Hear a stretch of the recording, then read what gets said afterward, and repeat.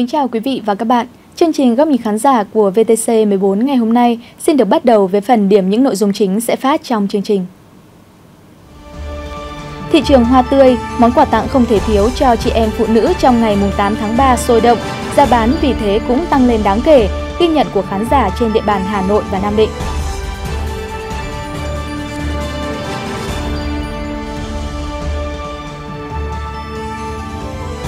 Xe tải cháy trên quốc lộ 1A đã gần nửa tháng nhưng vẫn chưa được di rời, gây nguy hiểm cho các phương tiện tham gia giao thông. Phản ánh của khán giả Vân Hằng, trú tại Nha Trang, Khánh Hòa.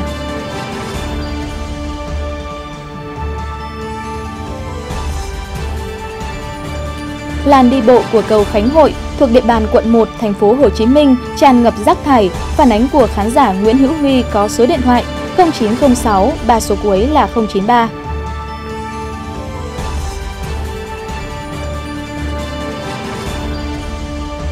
Nhiều diện tích lúa nước bị rêu phủ kín, gây ảnh hưởng đến năng suất.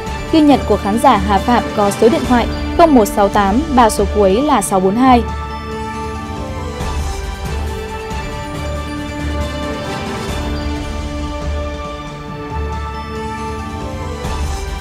Nhiều đề tài, mô hình khoa học của học sinh trung học có tính ứng dụng cao đã lọt vào vòng chung kết phía Bắc cuộc thi khoa học kỹ thuật cấp quốc gia dành cho học sinh trung học năm học 2015-2016. Chia sẻ của khán giả Vũ Ngọc Khánh có số điện thoại 0963 ba số cuối là 525.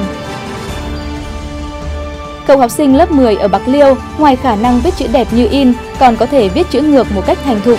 Clip do khán giả Nguyên Hoàng có số điện thoại 0123 ba số cuối là 760 cung cấp.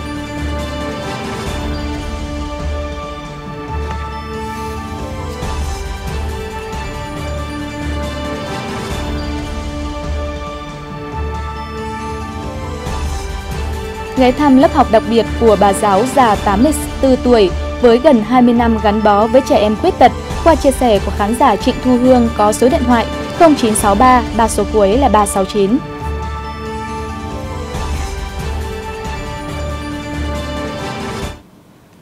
Sau đây là nội dung chi tiết. Thưa quý vị, năm nào cũng vậy, vào ngày quốc tế phụ nữ mùng 8 tháng 3, hoa tươi, một trong những mặt hàng thường được chọn làm quà, lại tăng giá. Tùy theo từng loại hoa mà giá cả tăng theo các mức khác nhau, có loại chỉ tăng nhẹ từ 20 đến 30%, tuy nhiên có loại lại tăng gấp đôi. Thời tiết thuận lợi nên những bó hoa đến tay các bà, các mẹ trong ngày này cũng tươi và thắm sắc hơn so với dịp Tết vừa qua. Tổng hợp ghi nhận của khán giả trên địa bàn Hà Nội và thành phố Nam Định, tỉnh Nam Định. Mời quý vị và các bạn cùng theo dõi.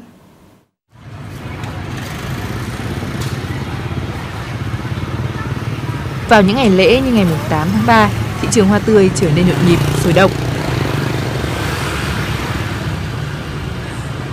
Có thể nói trong ngày này, hoa tươi trở thành món hàng thống lĩnh trong thế giới quà tặng. Chính vì thế, giá hoa có xu hướng tăng so với ngày thường.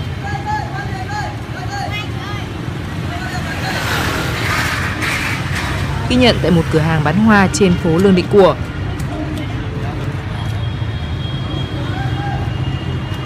hoa được xếp thành hàng lối ngay ngắn trên vỉa hè. Được bó thành những bó lớn hoặc cắm trong những chiếc giỏ nhỏ nhắn xinh xắn.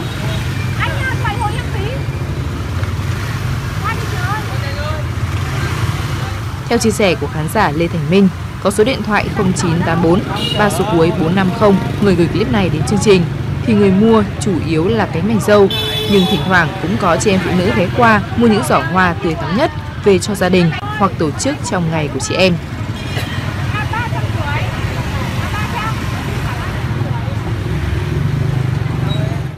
Còn tại Nam Định, dù trời mưa nặng hạt, nhưng trên những tuyến đường lớn, những chiếc xe đạp chở theo gánh hàng hoa vẫn xuất hiện từ sớm, phục vụ nhu cầu của thực đế.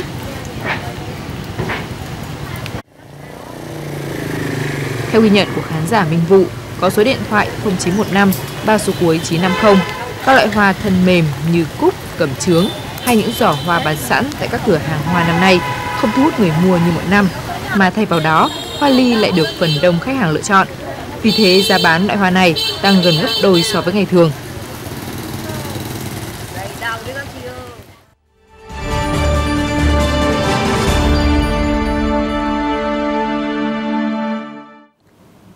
Gần nửa tháng nay, người tham gia giao thông, nhất là người đi xe máy lưu thông trên quốc lộ 1A khi đến địa phận xã Ninh Ích, thị xã Ninh Hòa, tỉnh Khánh Hòa đều gặp phải trở ngại do một chiếc xe tải bị cháy rụi nằm chiếm gần hết phần nửa mặt đường quốc lộ. Lo ngại về những nguy hiểm có thể xảy ra, nhất là về đêm do đoạn đường này không có đèn chiếu sáng. Khán giả Vân Hằng, chú tại Nha Trang, Khánh Hòa đã ghi lại một đoạn clip gặp và gửi tới phản ánh cùng chương trình. Chiếc xe tải bị cháy mang biển số 51C 56391 và nằm tại đây từ ngày 25 tháng 2 năm 2016 trong lúc chở 2.100 thùng mì tôm từ thành phố Hồ Chí Minh ra các tỉnh phía Bắc. Khi đến đoạn đường này thì đã bất ngờ bốc cháy, thiêu rụi toàn bộ chiếc xe. Cho đến nay đã gần nửa tháng, chiếc xe vẫn chưa được di rời, đã gây nguy hiểm rất nhiều cho các loại phương tiện, nhất là người đi xe máy khi lưu thông qua đây. Và nguy hiểm hơn nữa là về đêm khi đoạn đường này không có đèn chiếu sáng. Gửi clip phản ánh tới chương trình, khán giả Vân Hằng rất mong ngành chức năng khẩn trương cho thu dọn chiếc xe này để đảm bảo an toàn giao thông trên quốc lộ 1A.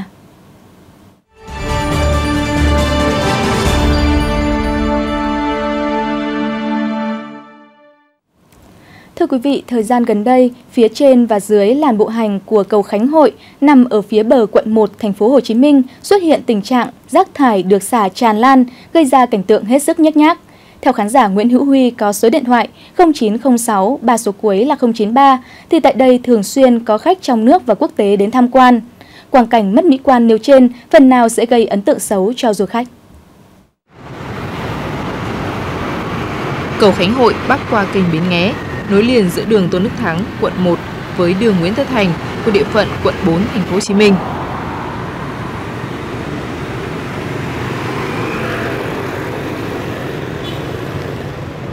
Đây là một trong số 11 cây cầu trọng yếu trên toàn tuyến đại lộ Đông Tây với chiều dài gần 167 m, rộng 22 m và hai làn đường dành cho người đi bộ mỗi bên 2 m.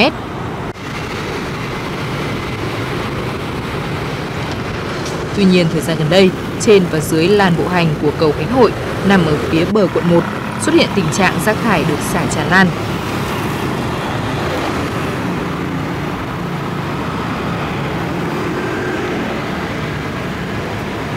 Rác thải xuất hiện nhiều ở những nơi khuất, những nơi dành cho mảng xanh cũng xuất hiện rác. Bên cạnh đó, thành cầu cũng bị thanh thiếu niên viết vẽ gây mất mỹ quan. Theo tìm hiểu của khán giả Nguyễn Hữu Huy, thì tình trạng nhếch nhác này xảy ra là do người dân đi xem bắn pháo hoa hoặc lễ hội ở hầm sông Sài Gòn rồi bỏ lại. Thêm vào đó, nhiều người đi bộ qua đây cũng tiện tay và vứt rác ở những chỗ khuất, những chỗ trồng cây cảnh ở khu vực. Lâu ngày không ai dọn dẹp nên cảnh quan ngày càng nhếch nhác. Gửi phản ánh đến chương trình, khán giả Nguyễn Hữu Huy hy vọng chính quyền địa phương sớm có giải pháp thu dọn rác thải và có những biện pháp để ngăn chặn tình trạng xả rác như trên, làm ảnh hưởng đến cảnh quan và văn minh đô thị.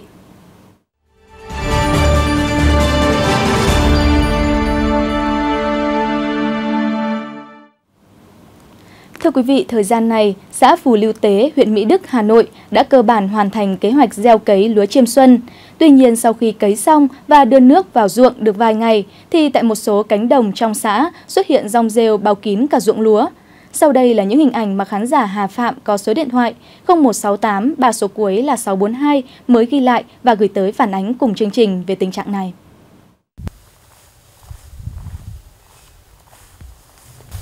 Theo quan sát của khán giả Hà Phạm, có những ô ruộng rêu dày đặc tạo thành từng bè, từng mảng, lấp hết cả cây lúa non mới gây xuống.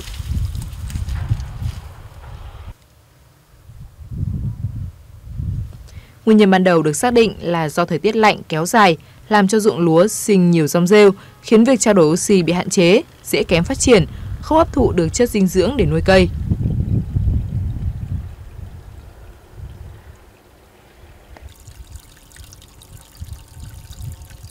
Bên cạnh đó, do rong rêu phủ kín thân và lá dẫn đến cây lúa không quang hợp được, cây sinh trưởng kém.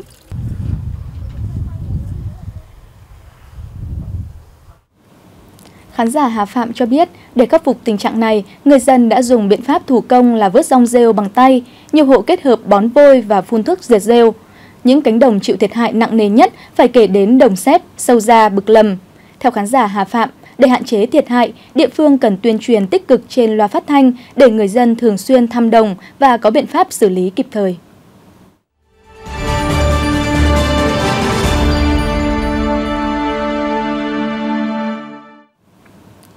Thưa quý vị và các bạn, vòng chung kết phía Bắc cuộc thi khoa học kỹ thuật cấp quốc gia dành cho học sinh trung học năm học 2015-2016 do Bộ Giáo dục Đào tạo tổ chức từ ngày 5 đến ngày 8 tháng 3 tại thành phố Hải Phòng với 234 dự án của 35 đơn vị từ tỉnh Thừa Thiên Huế trở ra, tranh tài ở 20 lĩnh vực như hóa học, hóa sinh, y sinh và khoa học sức khỏe, khoa học trái đất và môi trường, khoa học vật liệu, vật lý và thiên văn. Nhiều đề tài và thiết bị kỹ thuật lọt vào vòng chung kết này được đánh giá là có tính khả thi cao, thể hiện được sự quan tâm, chăn trở của thế hệ trẻ với những vấn đề bức thiết trong cuộc sống. Trong lần tham quan khu trưng bày các dự án dự thi ở Cung văn hóa thanh niên thành phố Hải Phòng, khán giả Vũ Ngọc Khánh có số điện thoại 0963 ba số cuối là 525 đã ghi lại một số hình ảnh và chia sẻ cùng chương trình. Mời quý vị và các bạn cùng theo dõi.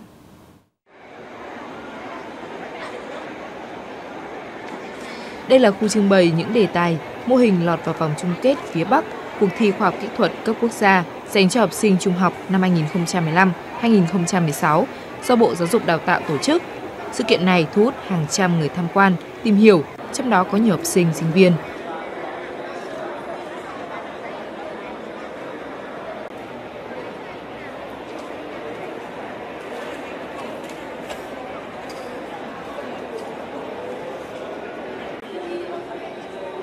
Nằm ở một góc của khu trưng bày, nhưng gian trưng bày thiết bị xử lý thuốc nhuộm trong nước bằng công nghệ plasma áp suất khí quyển của nhóm học sinh Nguyễn Huyền Trang và Nguyễn Thái Thành, lớp 11 chuyên hóa, trường Trung học phổ thông Hà Nội Amsterdam thu hút khá đông người tham quan.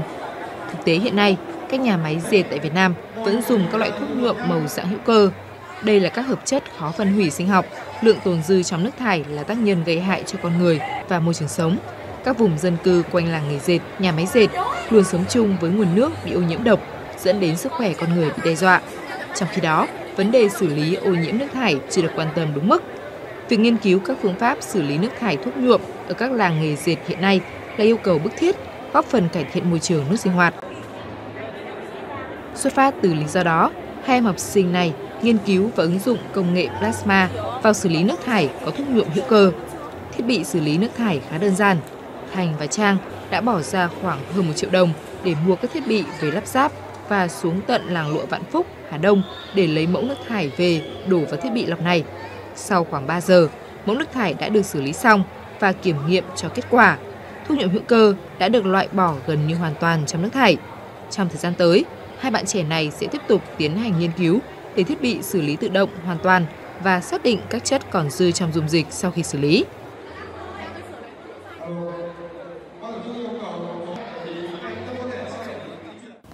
Khán giả Ngọc Khánh chia sẻ, thiết bị xử lý thuốc nhuộm trong nước thải của Huyền Trang và Thái Thành chỉ là một trong số rất nhiều đề tài, thiết bị kỹ thuật độc đáo, mới lạ và có tính khả thi cao. Theo anh Khánh, cuộc thi khoa học kỹ thuật cấp quốc gia là sân chơi bổ ích cho học sinh trung học đam mê nghiên cứu khoa học, đưa ra các giải pháp thiết thực phục vụ cộng đồng. Bên cạnh đó, cuộc thi còn là nơi tăng cường trao đổi, giao lưu văn hóa, giáo dục giữa các địa phương – Thông qua đây còn nâng cao nhận thức của đội ngũ cán bộ quản lý, giáo viên, cha mẹ học sinh và cộng đồng xã hội về ý nghĩa và tầm quan trọng của hoạt động nghiên cứu khoa học trong nhà trường phổ thông. Anh Khánh cho biết thêm, sau 4 ngày tổ chức, sáng ngày 8 tháng 3, ban giám khảo đã trao giải toàn cuộc cho 18 dự án. Ngoài ra, 106 dự án đoạt giải nhất nhì ba trong các lĩnh vực sẽ đủ điều kiện để tuyển thẳng vào đại học.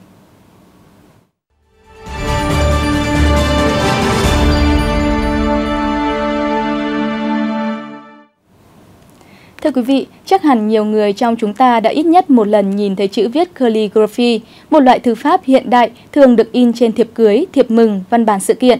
Ở Bạc Liêu, có một cậu học sinh có thể tạo ra những chữ viết đầy nghệ thuật ấy chỉ với những dụng cụ đơn giản như bút máy, mực giấy. Sau đây mời quý vị và các bạn cùng gặp gỡ cậu học sinh tài năng này qua những hình ảnh mà khán giả Nguyên Hoàng có số điện thoại 0123 ba số cuối là 760 đã chia sẻ cùng chương trình.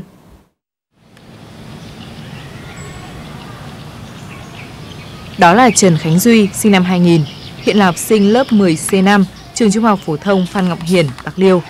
Dù làm quen với cây bút máy từ khi mới cầm bút đến trường, tuy nhiên khi đó Duy vẫn chưa có khái niệm thế nào là luyện chữ đẹp.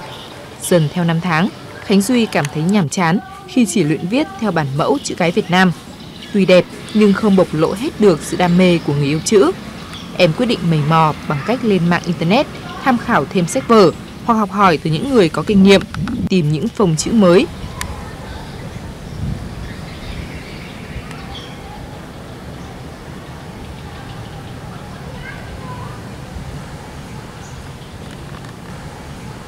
Mở rộng hơn là cả các kiểu chữ của bộ môn calligraphy phương Tây và cả chữ ngược.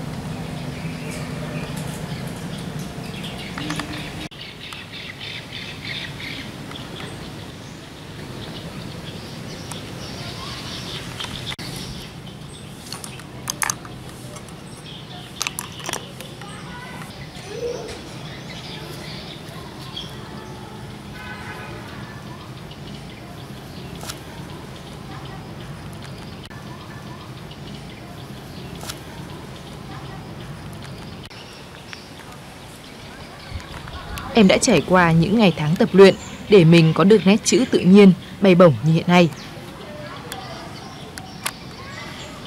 Dạ, theo em nghĩ thì mình luyện chữ đẹp thì mình không cần có hoa tay hay năng khiếu như mọi người thường nói mà mình chỉ cần có đủ sự đam mê và kiên trì luyện tập thì mình có thể đạt được cái nét chữ như mình mong muốn.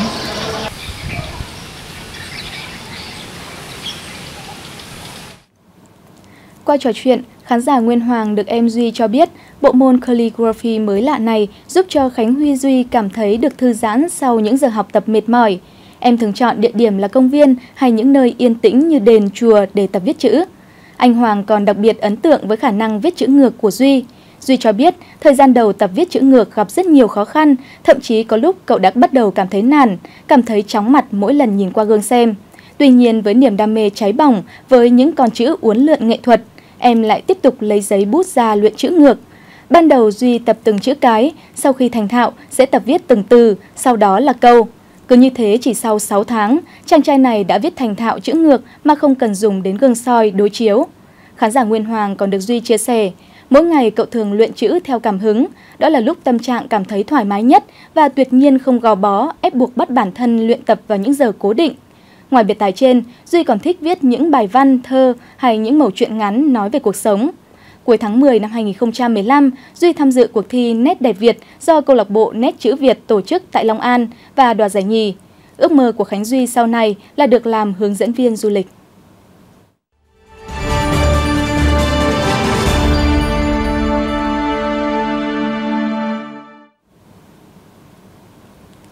Nằm gọn trong góc ngôi trường trung học cơ sở An Dương của Hà Nội, gần 20 năm nay có một lớp học đặc biệt dành cho học sinh khuyết tật, ngày ngày được cô giáo Hồ Hương Nam, 84 tuổi, tự nguyện miệt mài dạy dỗ. Khán giả Trịnh Thu Hương có số điện thoại 0963 ba số cuối là 369 cho biết, dù tuổi đã cao và học sinh đều là những đối tượng đặc biệt, nhưng lớp học của cô giáo Nam vẫn được duy trì rất đều đặn. Có dịp tới thăm lớp học tình thương thì mới có thể hiểu được tình cảm của cô giáo Hồ Hương Nam dành cho thế hệ học sinh khuyết tật trong suốt 18 năm qua.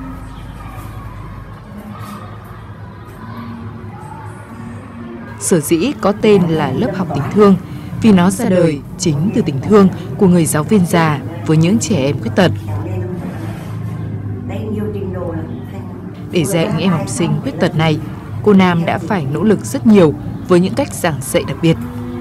Vì mức độ khuyết tật của mỗi học sinh là khác nhau như cầm, điếc, đau, tâm thần phân liệt, nên cô Nam phải chia chỗ ngồi thành từng nhóm có cùng một chứng bệnh để dạy. Với những em bị cầm điếc, cô Nam phải dùng ngôn ngữ ký hiệu để diễn đạt cho các em hiểu. Như thấu hiểu được tấm lòng của người dạy, các em học sinh đặc biệt của cô giáo Hương Nam đều rất ngoan ngoãn và có nhiều em đã tự viết được tên của mình và thuộc các mặt chữ cái. Khán giả Trịnh Thu Hương cho biết, năm 1997, cô giáo Hương Nam bắt đầu nghỉ hưu từ trường tiểu học Hoàng Hoa Thám. Sau đó cô Nam tiếp tục làm công tác dân số, gia đình và trẻ em của phường Yên Phụ. Do công việc, cô Nam có điều kiện tới từng nhà, gặp nhiều gia đình có hoàn cảnh con em bị khuyết tật, không được đến trường, thiếu thốn sự quan tâm chăm sóc của gia đình. Không cầm lòng trước cảnh tượng đó, cô quyết định mở lớp để dạy dỗ, chăm sóc cho những em nhỏ bị khuyết tật này. Tại đây, không chỉ được dạy bảo ân cần mà những em học sinh đặc biệt còn được miễn phí học phí. Tất cả sách vở và đồ dùng học tập đều do cô Nam dùng tiền lương hưu của mình để mua. Không những thế, cứ vào thứ sáu hàng tuần, các em học sinh khuyết tật còn được cô mua cho bánh kẹo như một món quà nhỏ nhằm khích lệ tinh thần. Sau 18 năm gắn bó với những em học sinh khuyết tật tại lớp học tình thương, điều cô Nam lo lắng nhất bây giờ là không tìm được người tiếp tục thay cô giảng dạy cho các em nhỏ khuyết tật. Ở cái tuổi 84, cái tuổi cần được tĩnh dưỡng, cần được nghỉ ngơi, nhưng với cô Nam thì không, bởi trái tim cô vẫn quyến luyến và tâm hồn cô vẫn dành cho các em học sinh khuyết tật tình yêu thương vô bờ bến. Năm 2014, cô Hồ Hương Nam được thành phố Hà Nội trao tặng danh hiệu Công dân thủ đô ưu tú và năm 2015 cô được trao tặng huân chương lao động hạng 3.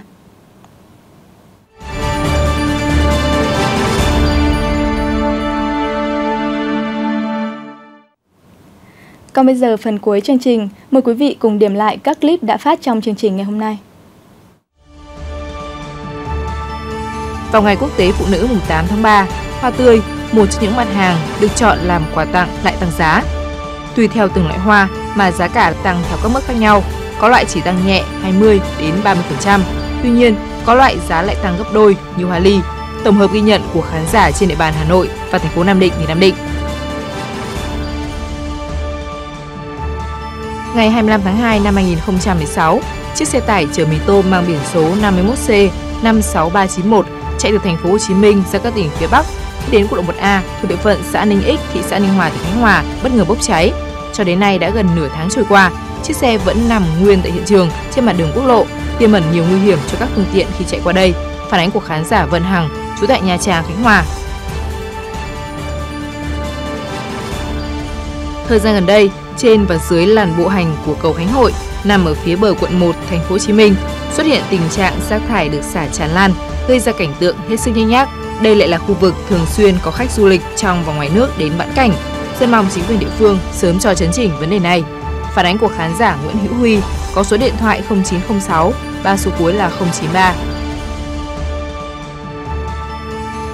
Thời gian này, xã Phù Lưu Tế, huyện Mỹ Đức, Hà Nội đã cơ bản hoàn thành kế hoạch gieo cấy lúa chiêm xuân. Tuy nhiên, sau khi cấy xong và đưa nước vào ruộng được vài ngày, thì tại một số cánh đồng thuộc xã Phú Lưu Tế xuất hiện dòng rêu bao kín cả ruộng lúa, gây ảnh hưởng đến năng suất. Ghi nhận của khán giả Hà Phạm có số điện thoại 0168 3 số cuối 642.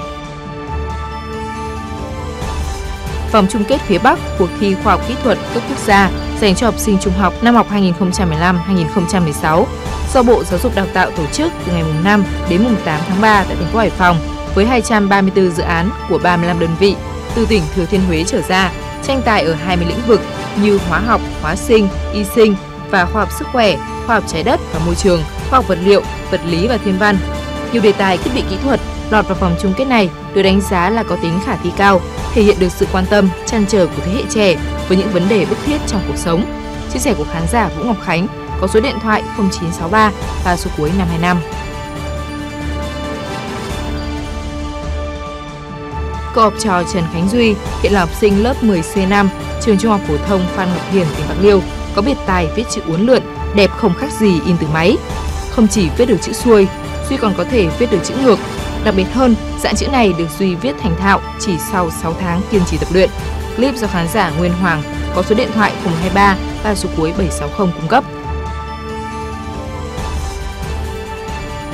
Nằm gọn trong góc ngôi trường Trung học cơ sở An Dương của Hà Nội. Gần 20 năm nay, có một lớp học đặc biệt dành cho học sinh khuyết tật. Ngày ngày được cô giáo Hồ Hương Nam, 84 tuổi, tự nguyện miệt mài dạy dỗ. Với những công hiến không mệt mỏi, năm 2014, cô Hồ Hương Nam được thành phố Hà Nội trao tặng danh hiệu Công dân thủ đô ưu tú và năm 2015 được trao tặng huân chương lao động hạng 3. Chia sẻ của khán giả Trịnh Thu Hương có số điện thoại 0963 3 số cuối 369. Thưa quý vị, để cảm ơn sự quan tâm theo dõi và đồng hành của quý vị khán giả trong suốt thời gian vừa qua, từ nay tất cả các clip được chọn và phát sóng trong chương trình Góc nhìn khán giả sẽ có cơ hội giành được một giải thưởng có giá trị từ chương trình. Đó là chiếc đầu thu kỹ thuật số vệ tinh VTC HD V1 do công ty VTC Dịch vụ Truyền hình số tài trợ. Giải thưởng này sẽ được chính ban biên tập chương trình lựa chọn theo từng tuần và tiến hành công bố, trao giải vào các chương trình Chủ nhật. Tới đây, chương trình Góc nhìn khán giả ngày hôm nay của chúng tôi cũng xin được khép lại. Nếu có thông tin, hình ảnh, chia sẻ cùng chương trình, quý vị khán giả có thể gửi đến địa chỉ email góc nhìn khán giả a vtc.gov.vn hoặc quý khán giả cũng có thể gọi điện đến số điện thoại liên lạc của chương trình là 0904 88 1414. Xin kính chào tạm biệt và hẹn gặp lại trong những chương trình tiếp theo.